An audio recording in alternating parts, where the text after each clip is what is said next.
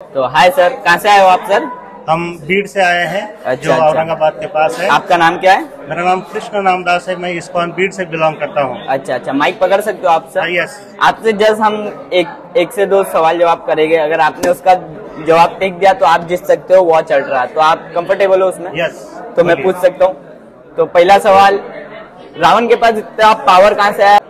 सीता मैया का अपहरण कर दिया। जैसे कि हम जानते हैं रावण जो है अ, शिव जी के बहुत बड़े भक्त थे हाँ। और भक्त होने के कारण उनके पास इतना शक्ति आया कि उन्होंने सीता देवी का अपहरण कर लिया। अच्छा वेरी गुड वेरी गुड एकदम परफेक्ट आंसर दिया आपने अभी क्वेश्चन पे जाते हैं। सेकंड क्वेश्चन ये राम जी की जो बहन थी उनका नाक क्यों कटा था?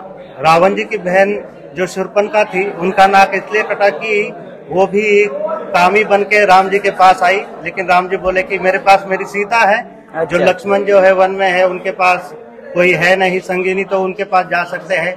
लेकिन क्या हुआ ऐसा होने के बाद भी राम जी ने क्या किया कि इशारा किया क्योंकि कामिक भावना से लक्ष्मण जी के पास उनको भेजा और लक्ष्मण जी से इशारा करने पर शूर्पणखा की लक्ष्मण ने नाक काट दी।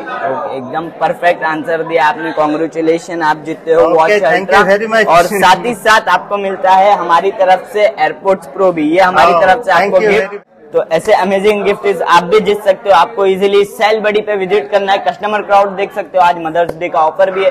तो सारे कस्टमर से हम ऐसे ही जस्ट क्वेश्चन आंसर करते हैं। आप कमेंट में भी हमें सजेस्ट करिए क्या क्वेश्चन पूछना चाहिए। Subscribe to mega sale buddy